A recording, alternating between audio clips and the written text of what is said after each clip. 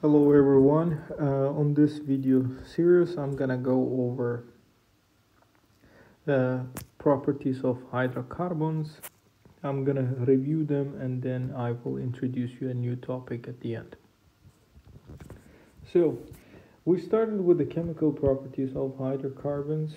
We have the following alkenes, alkanes and over here we have alkenes and alkynes.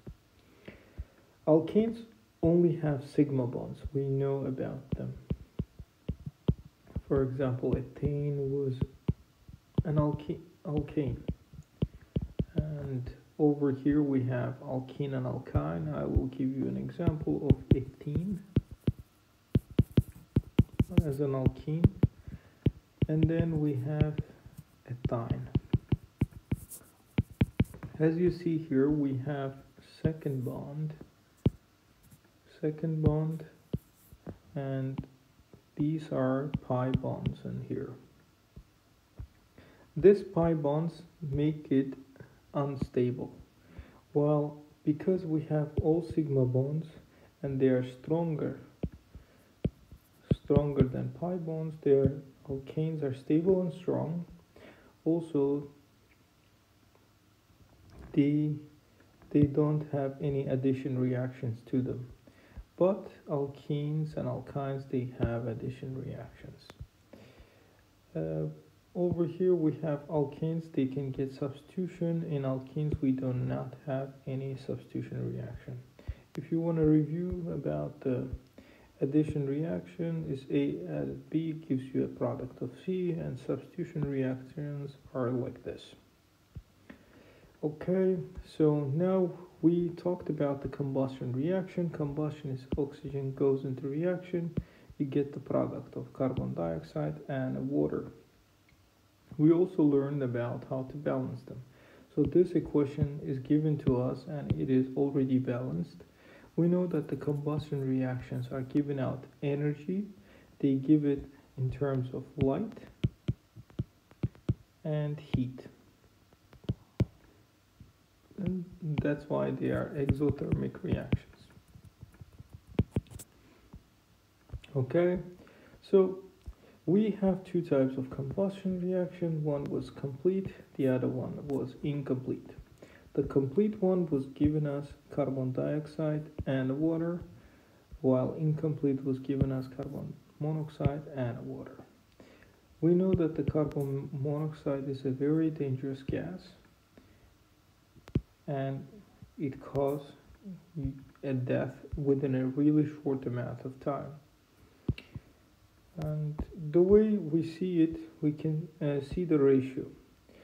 Uh, if you have enough oxygen, you see over here for one methane in the balance reaction, I have two moles of oxygen. So for one mole of methane, I got two moles of oxygen. While if we look at here in incomplete combustion in the balance reaction, I got 2 for 2 moles, I got 3 moles. That means for 1 mole I have 1.5 mole of oxygen, which means I have less. So look at here, it says due to low amount of oxygen, carbon monoxide is produced. And due to high amount of oxygen, CO2 produced. That is their main difference. Also, if you look in here, number 4 and in number 1, the blue flame indicates that we have a complete combustion, while orange, yellow, and red flames means that they have incomplete combustions. You need to have this in your mind.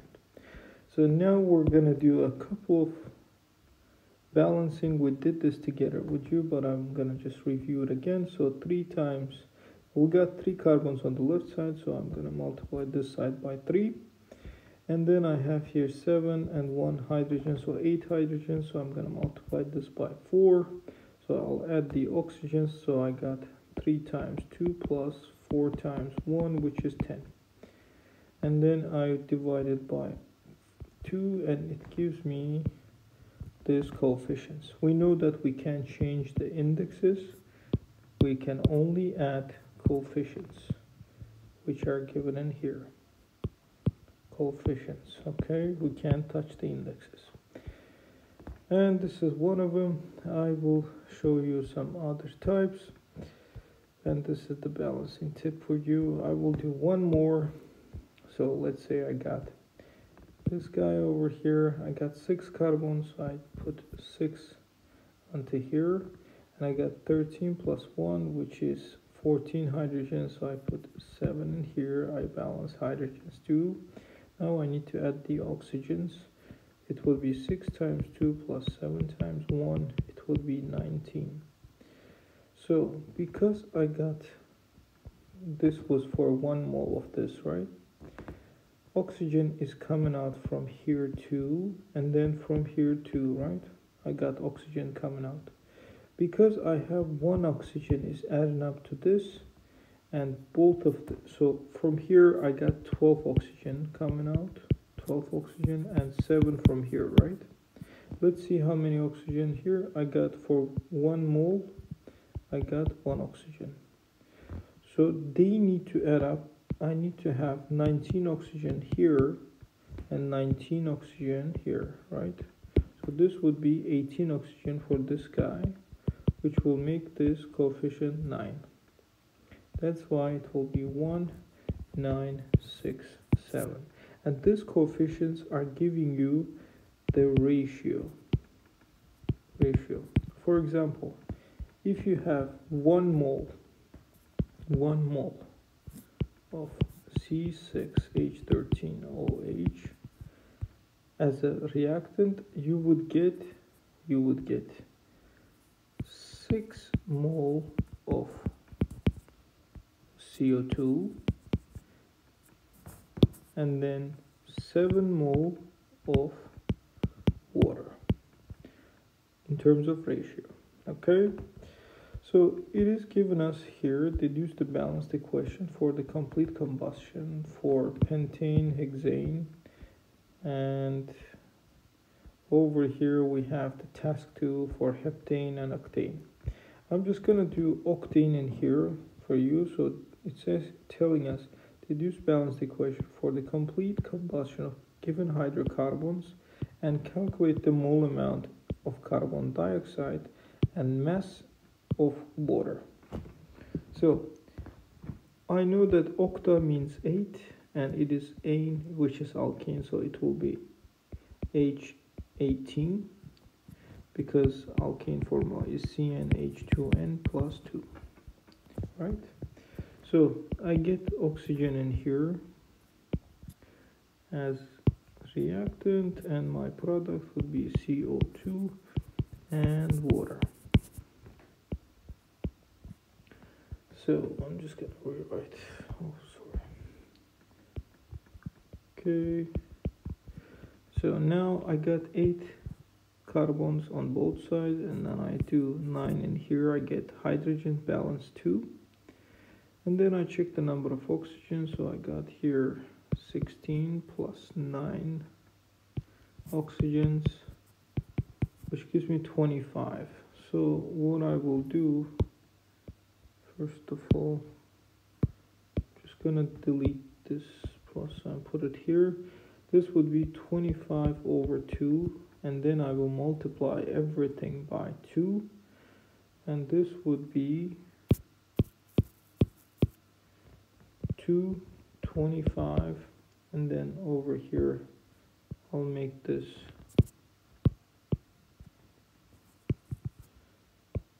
by multiply by 2 which is 16 and 18 so this is my ratio it is telling me mole amount of carbon for 2 moles of hydrocarbon. So as you see here, I have 2 moles in here, right? So 2 moles of C8H18 would give me how many moles of carbon dioxide? 16 moles of carbon dioxide. So this is one of your answers. And then it is asking mass of water, right? So we know we need to find first of all for 2 mole how many moles of water is coming out so you see it's 18 here so 18 mole of water mole of water now we need to find the mass of this you need to find the molar mass of water. Molar mass of water is gonna be like this. Because I have two hydrogens, it will be two times molar mass of hydrogen plus one time molar mass of oxygen because I have only oxygen one there. And if you check the periodic table, hydrogen has one in the bottom, meaning it will it has a molar mass of 1 2 times 1 and then oxygen if you check the bottom of it it is 16 and it will make you give you 18 gram per mole for the molar mass of water okay? And then all you need to do is to use proportion. So for 1 mole 1 mole you have 18 gram right? And then for 18 mole because you're looking for 18 mole in here it would be x gram and x would be 18 times 18 grams. You would do the calculation using your calculator and then it should be around 180 plus so 180 plus 80 plus 64 and then it would be uh, like this 180 plus 144 it would be 324 gram of water. Okay so now we're gonna discuss the reaction addition reaction bromination hydrogenation and hydration. So bromination meaning means addition of bromine, hydrogenation means addition of hydrogen, hydration means addition of water. So we have this bromination of ethylene. We know its name as ethene, but its common name in the industry is called also ethylene. So once you have ethylene, you have add inside bromine and you get this product the way this reaction happens I showed you in the class I will show here again. So this carbon is like this right? This double bond. So this bromine comes from the bottom. And then and then we have this bond breaking down and this pi bond breaking down. And then we have a new bond starting to form. And this is giving you so I I broke broke two bones. I made two bones. And you see I broke one bond here pi bond and in between bromine. So one bond here and one bond here and then I made another two bonds so this is the way it looks. You see carbon still has four valency right? And then this is the product we have. So there is one thing. We call this a chemical test. And the reason is is that you see this bromine? Bromine is purple reddish color. This is bromine. What we had in the beginning it was this ethylene ethylene is colorless. Colorless. We added into this colorless a bromine which is reddish reddish brown. So this bromine is here with the ethylene and then after some time you see that the brownish red is gone. And then after certain time all of the bromine was reacted with this and gave us the colorless 1,2-dibromoethane. That means that this test, we wanted to test if this unknown, unknown substance, unknown. So in this case we know that it is ethylene but we were going to give you unknown substance and we're going to tell you tell us if it is unsaturated or not and we we know that because ethylene has this pi bond, it will react with bromine. And this reddish brown, reddish, reddish brown color will disappear and it will give us the colorless, colorless. That's what we call a positive bromination test, positive test. So if you had, for example, alkane here, alkane, you, you know that if you add the bromine in there, there would be no reaction, no reaction. The color would be, the color would stay. The color would not change, color would not change change and it's gonna stay reddish brown reddish brown. It will give negative result negative result negative test result for bromination. Is this clear? I hope it is clear. So bromination is a type of test for unsaturation. For example cyclohexene. You look here cycle we know that hex is we know that hex is 6 and then we got a double bond here so you got add bromine on it. And then you know that we're gonna break two bonds the pi bonds and we're gonna add bromine here and then bromine here. I'm gonna draw you I'm gonna draw you condensed form of this, even expanded form. So look at here, I got carbon, carbon, carbon, and then carbon, carbon here. I have hydrogens.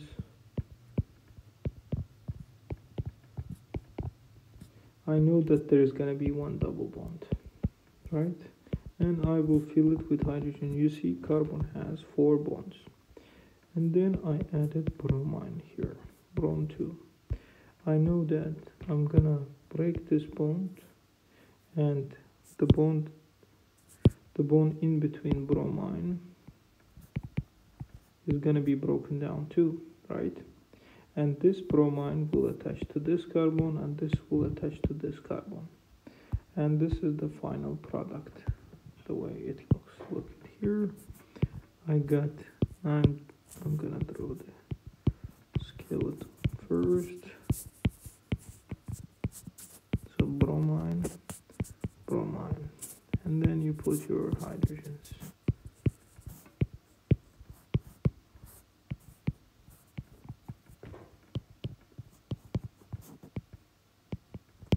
There you go. And the line line form is this. So now once we're done with one of the addition we're going to move on to the hydrogenation. Hydrogenation as from the name it means adding hydrogen to. So now we're gonna uh, in here we're saturation of alkene with hydrogen atoms. So you know that unsaturated you know what it unsaturated is. Unsaturated means you need to have a pi bond, pi bond, meaning you need to have a double bond. For example, here I have one double bond, second and third double bond. These are all double bonds. So the more more double bond means you have more unsaturation. But when you have no double bonds, that means you're you're unset you're saturated sorry you're saturated and saturated means full with hydrogen full with hydrogen. Like there's no place for me to add hydrogens here right? Because it is full. All the bonds are full. So look at here. I got ethene or we call it ethylene the common name in the industry. So I add hydrogen, but look at here, I need to use a catalyst. So there are three catalysts here, nickel, palladium, and platinum. You need to know this, that only these three metals are the ones that are giving you hydrogenation reaction. If you don't write this, we will not accept your answer. Okay, so you need to write it on top of the arrow. So this hydrogen comes from the bottom. Okay, and then we break this bond and we break this bond. And then we we're making a new two bonds. So two bonds broke, two bonds made, and look at the product. See, voila. Now we have a ethane. And this is saturated, right? And this was unsaturated. So from unsaturated, we got saturated. Now there is another one. For example, 2-butene, or could be but-2-ene. So look at here. We broke this bond and we added hydrogens onto this carbon, onto this carbon, and look at here. Now I have butane. You see how it's full with hydrogens? I only added two hydrogens. The same thing with cyclohexene. There was a double bond. I break this bond, I add one hydrogen here, one hydrogen here. Look at here, the product is cyclohexane. This is how we add hydrogens on it. So it would, as you know, that if I had cyclohexane in the beginning and I would add hydrogen in here with palladium, I would not get anything from here because all of them are full only unsaturated. Saturated hydrocarbon would give me this. Hydrocarbon even organic. Organic compound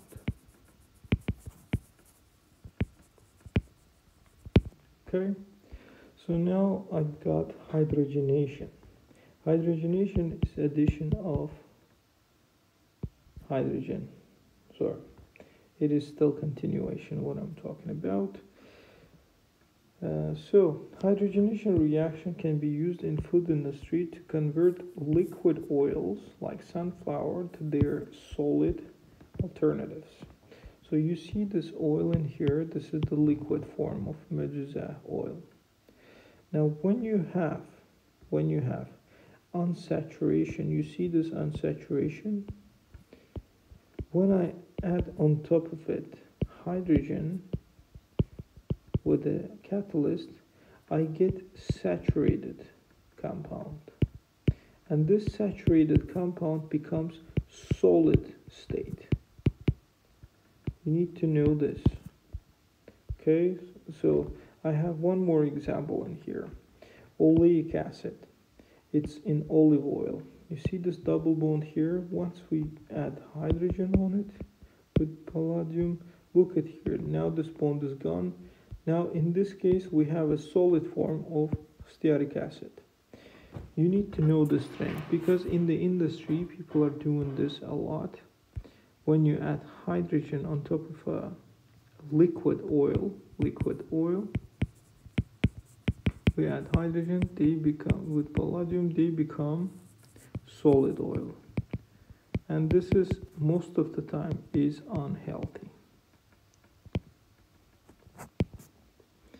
Okay so this time we're going to talk about hydration but uh, I'm going to talk about the alkenes first the type of the alkenes and then I will continue with hydration so alkenes are divided into two the symmetrical and asymmetrical ones it's super easy so look at this alkene. When I put a line in between this side and this side, they are the same. So this would be symmetrical. Again, if I divide this guy from the middle through the double bond, it should uh, this side and this side is similar and that's why it is symmetrical. But when you look at this one, when I have a double bond and I divide it through the middle, the left side and the right side they are not the same. So they are asymmetrical. Same thing with this alkene. Left side and right side they're not looking the same. Okay so now let's go back to we're gonna go back to hydration. Hydration is also another addition. This time we added water. So look at here. You see H2O H2O is like this right? So it is made of two hydrogens and one oxygen. Look at here. The way they added one hydrogen and OH so water is here. Water has been added but for this you need to have acidic condition that is one one uh, condition that you need to keep in mind and the water is here. I will show you a sh sh uh, short mechanism of this. So I have here hydrogen and then I have here oxygen and the hydrogen. So now this bond is breaking down and one of the bonds connecting hydrogen to oxygen is breaking down and then I'm making another bond with this one and I make another bond with this one. So look at here. Now the final product is going to be looking like this. So to one carbon I connected hydrogen. To another carbon I connected the OH group. And now this OH group is actually a functional group of alcohol. Alcohol. Just like there are alkanes and alkenes alkynes. If uh, they are they have their own functional group alcohol alcohol they have their own functional group. When you have OH that means that you are alcohol. And because you see here I got two carbons right? Two carbons here if I had hydrogen here this would be looking called ethane but when I remove one hydrogen and put in place instead of it OH, it becomes ethanol. And it is the main ingredient of the vodka. So this hydrogen plus, before I go, last year you discussed, for example, hydrochloric acid, it ionizes, gives hydrogen plus and chlorine minus. Or sulfuric acid gives hydrogen plus and then SO4 negative 2 all of the acids are giving hydrogen plus ions. And this hydrogen plus means that you need to have acidic environment for this reaction. Just like in hydrogenation, you need to have catalyst, for example. Over here, you need to have acidic environment. And this acidic environment is denoted either H plus or you could write here HSO4, 8 hydrogen chloride, but just as you, it's given in your note, write H plus on top of the arrow and you're just fine for this reaction. Okay, so now we're giving you uh, some examples of those. So I'm just gonna write the expanded form of this. So look at here, I got one, one, two, three, four carbons, right? I'm gonna put the double bond and we'll fill it with hydrogens.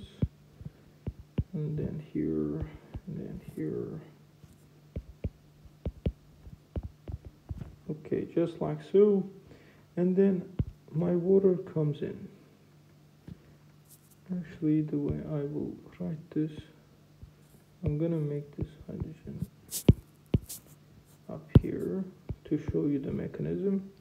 So water comes in from the bottom and then this bond is breaking, this bond is breaking. I'm connecting one carbon to this hydrogen and one carbon to this OH. And this is the final product. Look at here. I got OH here and then I just filled the rest as it was before. I just broke down the double bond and then I put hydrogen and OH. That's all I did. Look at here. This is the one that has been added and I removed this double bond, only left a single bond. This is the final product and line diagram of this is looking just like this or you can do like this up to you whichever way you want to draw they are the same you just change the angle. And for this one I'm just gonna draw you the expanded form. Actually I will just do condensed form. So CH I got CH CH2 CH2 I got CH2 CH2 like this. And then I add the water. Look at here. I got hydrogen hydrogen like this.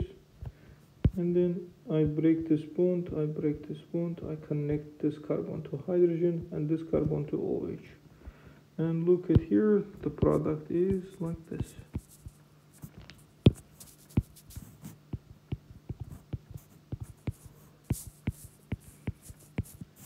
So CH2 CH2 CH2 and this CH and this would be OH just like this and the line diagram would be just like this.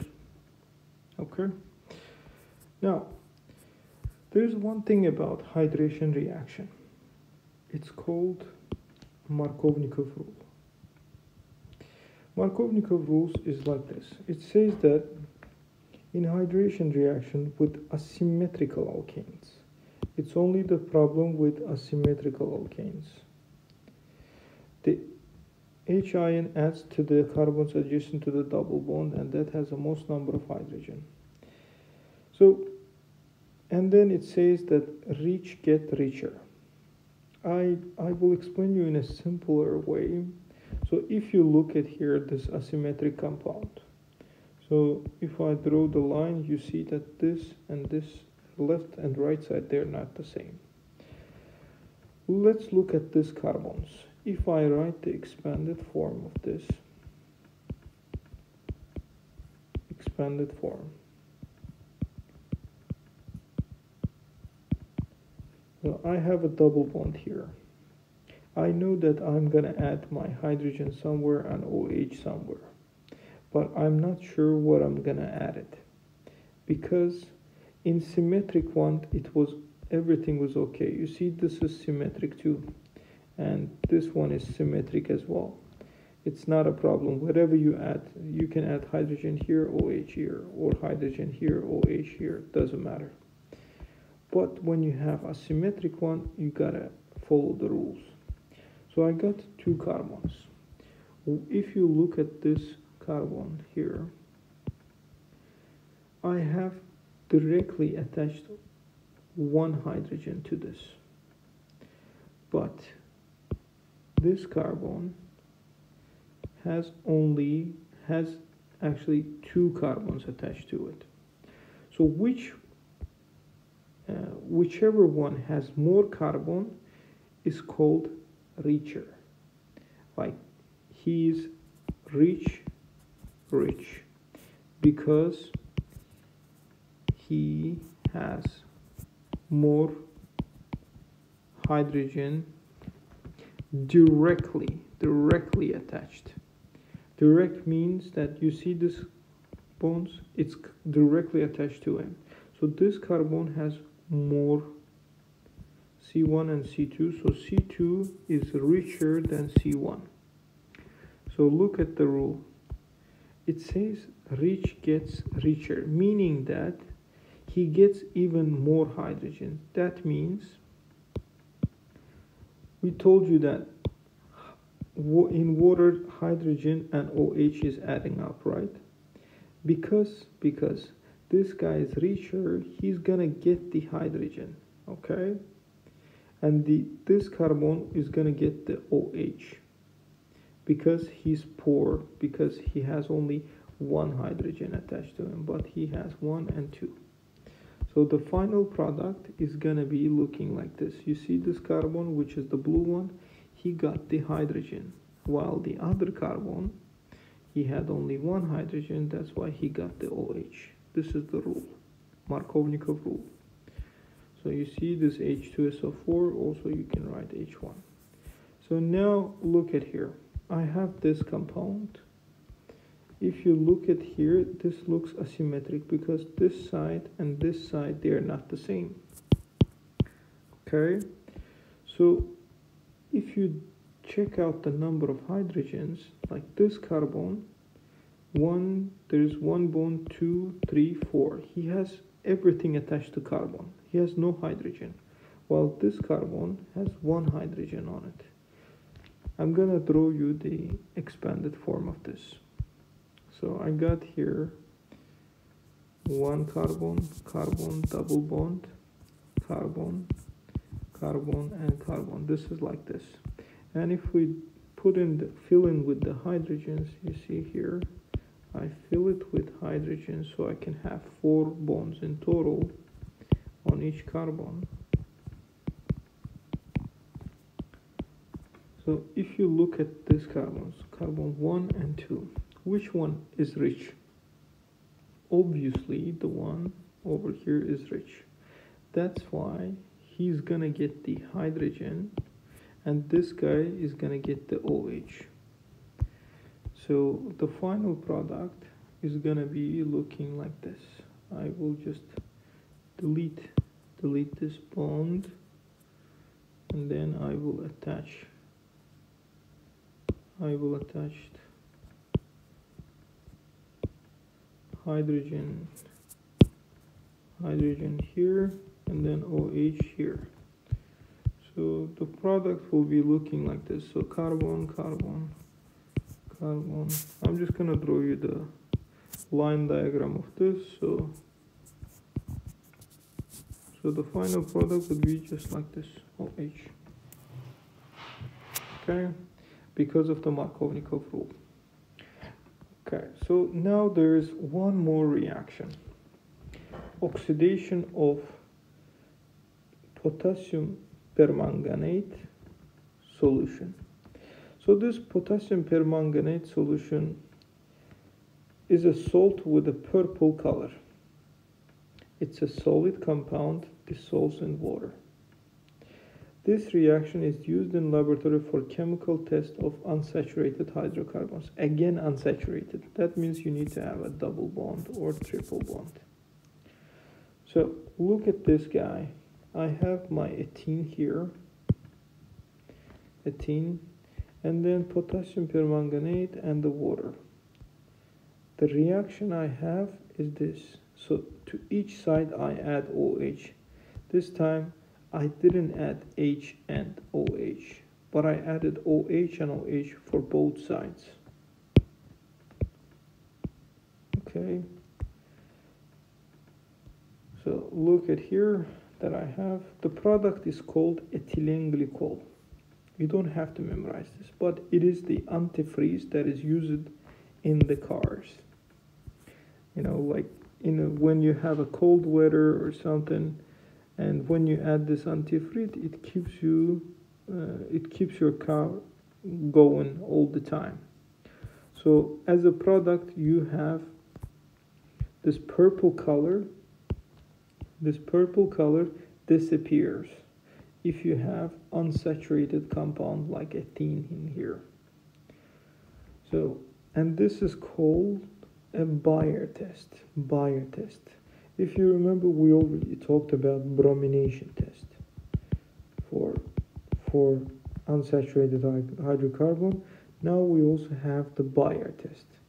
Look at here, the potassium permanganate purple react. So because I told you that alkanes, they do not react. So for alkane, I it is saturated, right? For example, ethane. That's why potassium permanganate will stay purple. The Baeyer's test will be negative. While in alkene, it's going to turn out positive because it will transfer purple into yellow. So from purple, purple, it will go into yellow and sometimes even colorless depending on concentration. And this is called Bayer test. And then look at the product. I told you, so this is the way you write the reaction. So in the bottom, this double bond. Uh, so let's say I have hydrogen like this.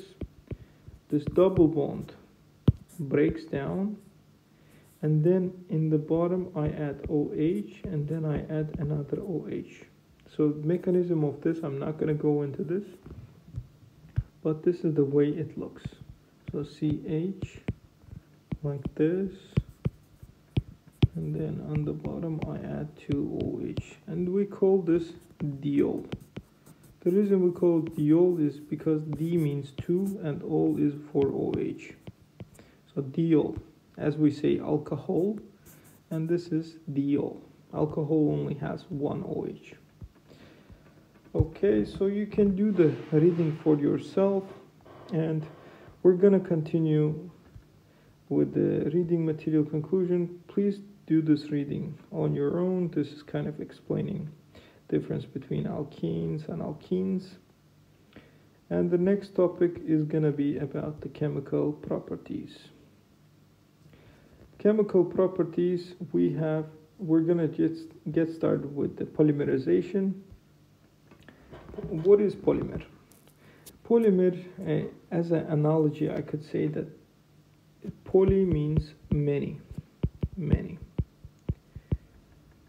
Poly means many. Let's say if the one brick is mono meaning a single if you have multiple bricks you have polymers. So this guy by themselves are monomers and this is polymers. This is an analogy. This is what we have in chemistry and i'm going to show you which one we have so we start with monomer we connect them together and we make the polymers for example, in our polymers, we are actually surrounded by polymers.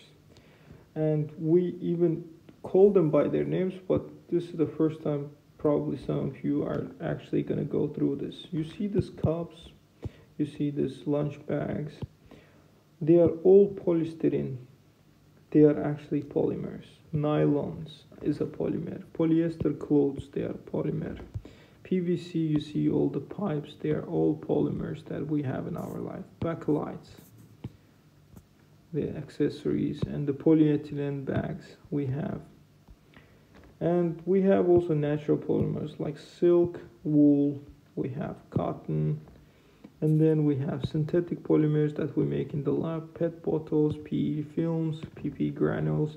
These are all kinds of polymers that we use in our daily life. So I told you, poly means many, mers repeat units or building blocks. So I have this all monomers around. I use polymerization reaction, reaction, and I connect the polymers. I make something strong. Like a, let's, I told, let, let's say we're making a PE film, right? Normally it made like from single molecules, but once I connect them, I make a durable film like this. The one that I can wrap my food with okay? Or I can use it anywhere else. There are two ways of producing polymers. One is through addition and then the other one is condensation. Addition ones is we're not going to go into actually the details of it but basically it is the way it looks is like this so I have, let's say, a ethene molecule, right? This is a monomer.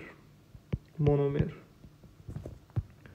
What I do is that I break this bond and I connect this monomer to another monomer, which is another CH and then I connect this guy to another monomer.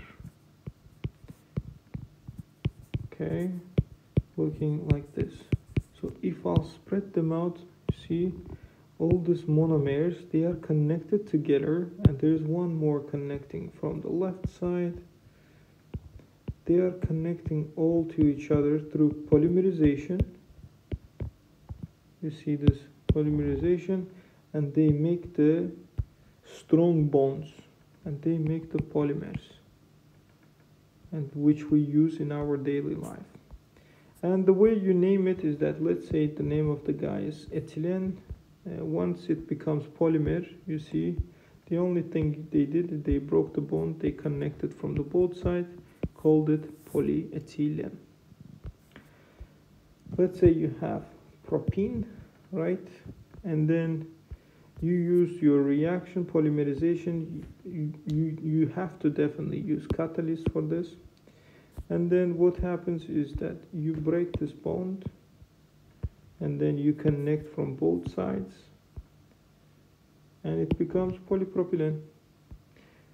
I know you're thinking that it's to be propene, polypropene. It's also called polypropene, but Uh, in the industry they call them propylene too, polypropylene. So this guy is called vinyl chloride. And once you polymerize it, meaning you break this bond and connect from the both sides, you see it has many, many of those exact same things. This is what the N stands for, and it makes polyvinyl chloride. Now, it's, a, it's asking us write the equation for the addition polymerization of butene and chloroethene. So let's do it together. I have butene, butene, and this is my butene, right? I'm gonna write the condensed form of this so CH and then I got CH2 right this is the way the butene looks like this is my monomer let's make the polymer of this meaning that I will break this bond one of the bonds. So this is the way it's gonna look like once I polymerize it. So I will use catalyst and I will polymerize this. This is the way it's gonna look. So I got CH here. I've got CH and then H and then I will write this part meaning CH2 and CH3 right? So this is the way it looks. I will connect it like this and I'm gonna put N in here. This is my polymer. That means that I have many many many many blocks of this connected to each other. Now it's also asking for chloroethene so ethene is looking like this right? Chloroethene they, they also call this vinyl vinyl chloride. We have seen it up here up there. Vinyl chloride. So I need to polymerize this right? Catalyst. Polymerize. So what I will do, I'm just going to break this bond and I will connect all of them together and this would be CH, H, CH and then chlor. And then over here I have connected other blocks and this guy will be my polymer. So this is my monomer and this is my polymer and then. We have practice an example. So it's telling us the problem solving with polymers. This is the mass of of the mass of polymer. M is the molar mass of monomer and n is the degree of polymerization. So now it's uh, telling us find the relative molecular mass of polymer. It's telling us to find the M, M, which was formed from ethylene polymerization. Ethylene, I told you the formula is CH, C2H4, right? Once we polymerize it with catalyst polymerize, we get the product of C like this we broke the bond and then we connect we connect through it like this and this is number of n. So let's find first of all the molar mass of molar mass of C2H4 right? This is C2H4 so I got two carbons 2 times 12 because carbon has a molar mass of 12 and then 4 times 1 because hydrogen got the molar mass of 1 and this would be 24 plus 4 it would be 28 right and now it's telling us degree of polymerization is 3000 so n here is 3000 so the big M would be 3000 multiplied by 28 and then 28 grams so this would be 3 times 20 so 84,000 grams which is 84 kilograms. And then I will leave you to do it on your own for this one using the propene. And I will see you guys in the class. Good luck